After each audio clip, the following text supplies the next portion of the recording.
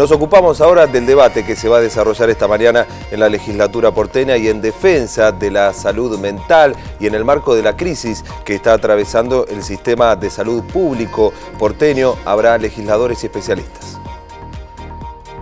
En el marco de la aguda crisis del sistema de salud público de la ciudad, se realizó la mesa de trabajo en defensa del derecho a la salud y del hospital público. Del encuentro participaron profesionales de diversos ámbitos vinculados a la salud mental en la ciudad de Buenos Aires.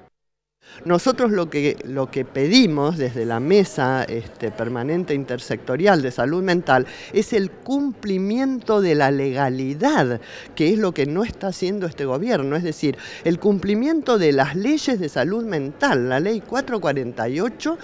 y la ley 26657 que es de nación, que cuando habla de desmanicomializar, no habla de destruir, habla de transformar con la interdisciplina, con los dispositivos, con la externación, respetando los derechos humanos de los pacientes. Hemos realizado con la diputada Nadeo un recurso de amparo eh, solicitando que se cumpla eh, la doble lectura en la legislatura para el traspaso de estos terrenos de este nuevo centro cívico.